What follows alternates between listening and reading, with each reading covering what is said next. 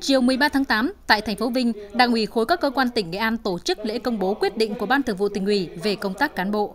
Trước đó, ngày 6 tháng 8, Ban Thường vụ tỉnh ủy Nghệ An đã ban hành quyết định điều động, phân công, chỉ định đồng chí Nguyễn Thị Kim Chi, Ủy viên Ban Thường vụ tỉnh ủy, Bí thư thị ủy Cửa Lò tham gia ban chấp hành, ban thường vụ và giữ chức Bí thư Đảng ủy khối các cơ quan tỉnh nhiệm kỳ 2020-2025. Quyết định có hiệu lực kể từ ngày ký. Tại buổi lễ, Bí thư tỉnh ủy Thái Thanh Quý đã trao quyết định tặng hoa chúc mừng đồng chí Nguyễn Thị Kim Chi nhận nhiệm vụ công tác mới.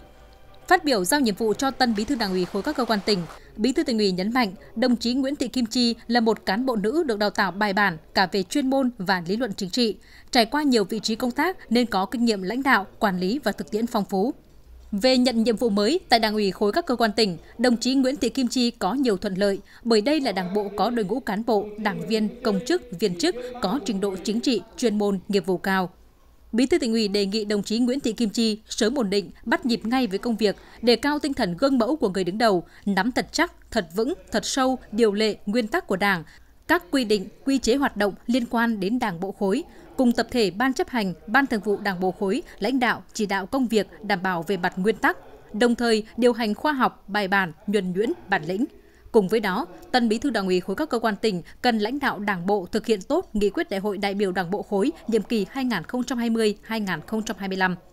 Bí thư tỉnh ủy đề nghị ban chấp hành, ban thường vụ, cán bộ, đảng viên, chuyên viên trong cơ quan đảng ủy khối và các đảng bộ, chi bộ trực thuộc tiếp tục phát huy tinh thần đoàn kết, thống nhất, cộng sự, hợp tác, nỗ lực để giúp cho tân bí thư đảng ủy khối hoàn thành nhiệm vụ được giao. Phát biểu nhận nhiệm vụ, đồng chí Nguyễn Thị Kim Chi bày tỏ tiếp tục cố gắng tu dưỡng, rèn luyện, phấn đấu cùng Đảng bộ đoàn kết, cộng sự, nhất trí lãnh đạo các tổ chức cơ sở Đảng trong khối thực hiện nhiệm vụ chính trị được giao.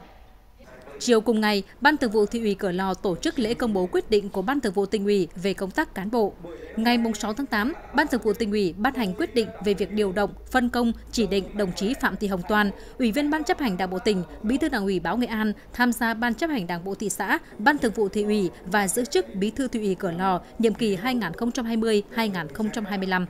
trao quyết định cho đồng chí Phạm Thị Hồng Toan, đồng chí Nguyễn Văn Thông, Phó Bí thư Thường trực Tỉnh ủy, chúc mừng đồng chí đã được Thường trực Ban Thường vụ Tỉnh ủy tin tưởng, tín nhiệm, điều động, phân công, chỉ định giữ chức Bí thư Thị ủy Cửa Lò.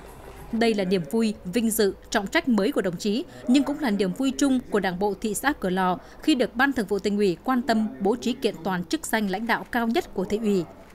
Phó Bí thư Thường trực Tỉnh ủy mong đồng chí Phạm Thị Hồng Toan tiếp cận công việc nhanh nhất, hợp lý nhất, đồng thời tin tưởng với tư cách Ủy viên Ban chấp hành Đảng bộ tỉnh trong nhiều năm qua sẽ là điểm tựa, nền tảng quan trọng để đồng chí Phạm Thị Hồng Toan thực hiện tốt chức trách, nhiệm vụ của bản thân trong thời gian tới.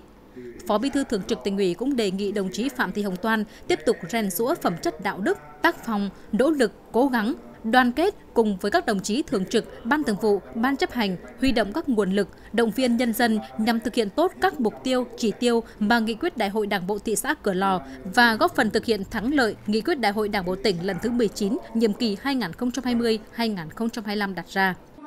Phát biểu nhận nhiệm vụ, đồng chí Phạm Thị Hồng Toan, Bí thư Thị ủy Cửa Lò cảm ơn sự tin tưởng, tín nhiệm của các đồng chí trong thường trực Ban Thường vụ tỉnh ủy. Bí thư Thị ủy Cửa Lò mong muốn nhận được sự giúp đỡ, hỗ trợ, đoàn kết của các đồng chí trong thường trực Ban Thường vụ, Ban chấp hành Đảng bộ thị xã Cửa Lò để bản thân hoàn thành tốt nhiệm vụ được giao. Đồng thời, xin hứa sẽ cố gắng, nỗ lực hết sức mình, tiếp tục rèn luyện, phấn đấu, đoàn kết, cộng sự, cùng các đồng chí trong thường trực, ban thường vụ, ban chấp hành đảng bộ, cán bộ, nhân dân thị xã xây dựng một cửa lò phát triển xinh đẹp, đáng sống, đáng nhớ.